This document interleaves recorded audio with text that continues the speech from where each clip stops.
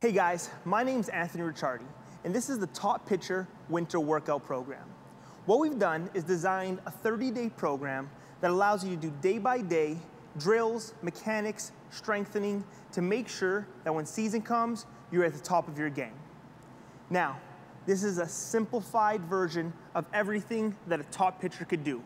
Doesn't matter where you are. You could be in your bedroom, the field, or in a warehouse. Let's make it work. Let's get to work. What we want to do is we're going to start off with our mechanics. Now, there's a bunch of different points that are crucial to becoming a successful pitcher. We have to understand that no two pitchers are alike. Everybody's different and everybody has their own mechanics and own delivery. But what great pitchers are is they're consistent. And that's what we're going to work on today is consistency.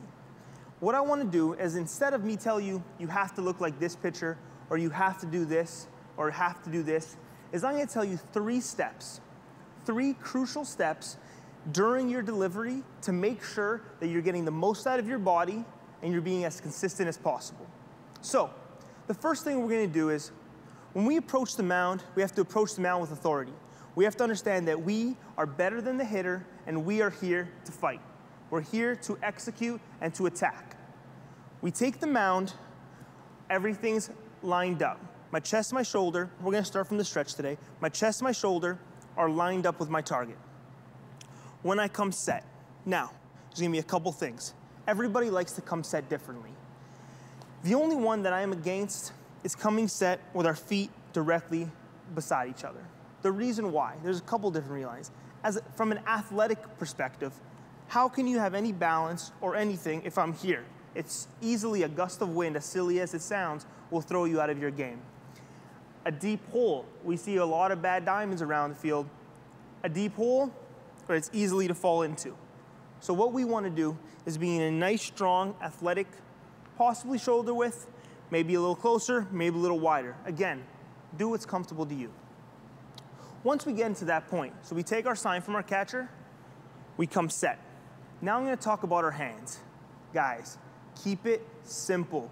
I don't, we don't need this, this here, doing all the fancy stuff. Just keep your hands nice and relaxed. We gotta do as minimal as possible to execute and explode. Let's save all that energy for throwing strikes and exploding towards our target. So, first thing we're gonna talk about is our leg kick. Now, you notice how my hands just stayed here nice and calm? If you're comfortable with your hands here, do it. If you're comfortable with here, do it. Down here, perfectly fine as well. Again, consistency. I'm right here. My leg comes up to my balance point. Now, different pitchers are different. They like some here, we can have our hip out. As long as we're keeping our shoulders to our target, we can lead with our hip. No problem with that at all. What I like and I find is the, the easiest to execute is nice straight, tall balance point, nice, nice 90 degree angle with our legs, and everything directed to our target. So, back to our hands. We come set, down. Did you notice what I did there? My hands drop with my leg. Why do we do that? It's all about timing. Pitching is timing and consistency.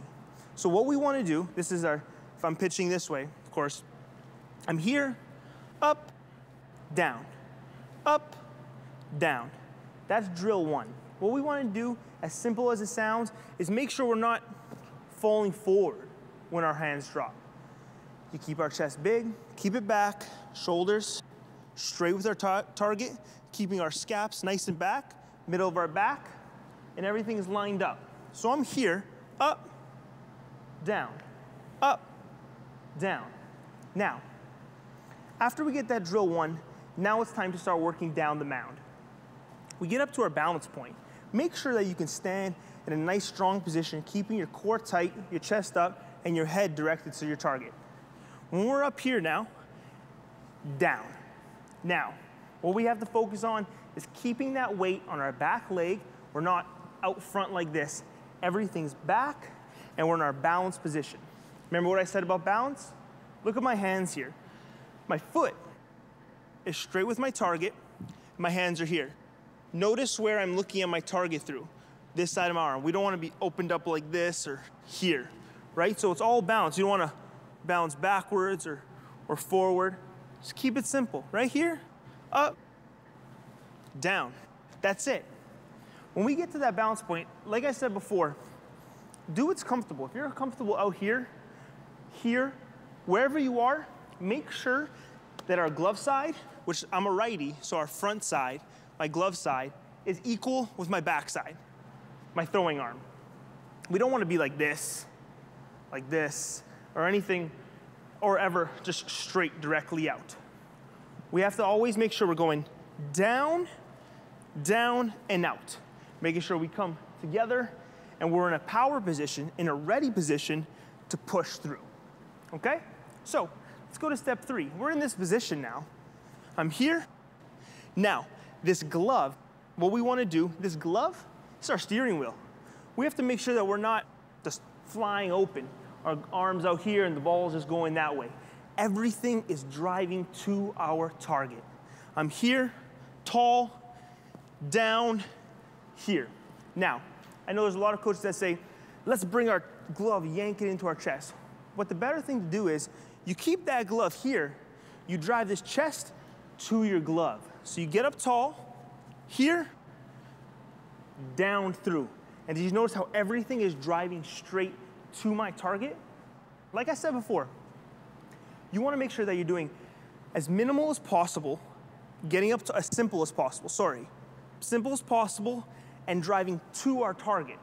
Now, you're in your balance point and you're driving down through. Notice my leg didn't just fall back over through. At the end of the day, we're a position player after we throw the pitch. Even though a lot of position players will say otherwise, we are. So we have to get up tall, drive down through. I'm ready for a baseball. That's what it comes down to. I'm ready for the bunt. I'm ready for the bunt down third base. Making sure that we're athletic after we throw the ball.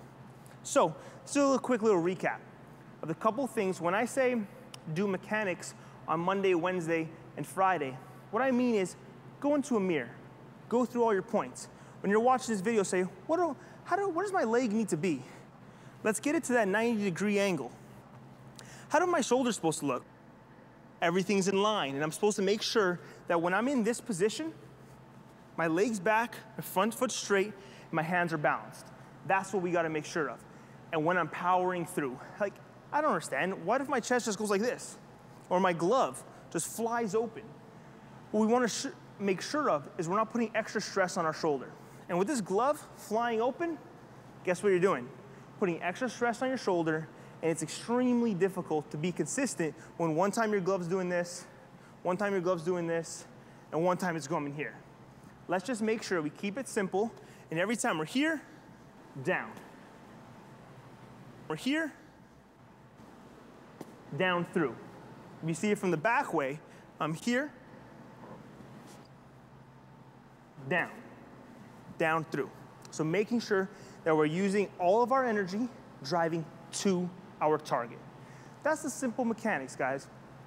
Let's understand that our hands stay firm, up, down, up, down when we drive, that back leg power, we're gonna talk a lot about today is our explosion. We're gonna do all the different drills that show what it takes to get down and explode up, right? This is where our power comes from. Our trunk, our legs, our core, our hips. That's where our power comes from. That's where velocity comes from. So these three simple, simple key points, balance, drive, follow through. Make sure you're doing them all the time. Make sure you're looking at yourself you are your best coach. When you're in the middle of a game, it's the fifth inning, sixth inning, two on, two on, nobody out. You're the only coach you have right out there. You're yourself, okay, what did I do wrong those last two pitches? My glove flew open. Make adjustments. The best pitchers in the world make adjustments and they're consistent. And that's what we have to become the best pitchers in the world. Thank you.